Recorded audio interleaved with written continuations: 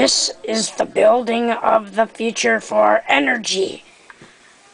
This sucks in anything for energy boost and it goes up this building to put into jars so they can be sent to homes for electricity.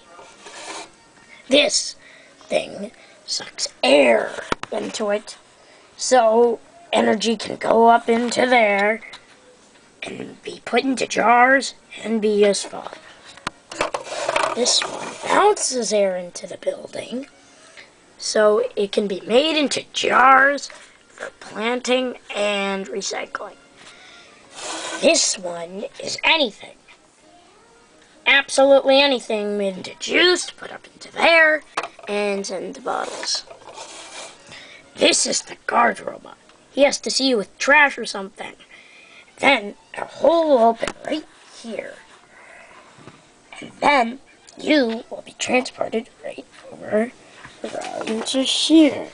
And you walk up these stairs onto this red thing.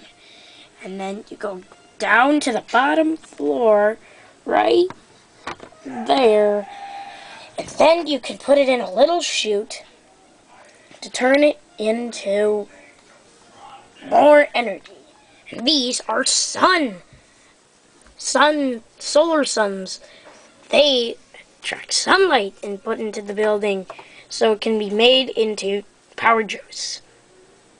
That is my hopeful building of the power plant in the future. The end.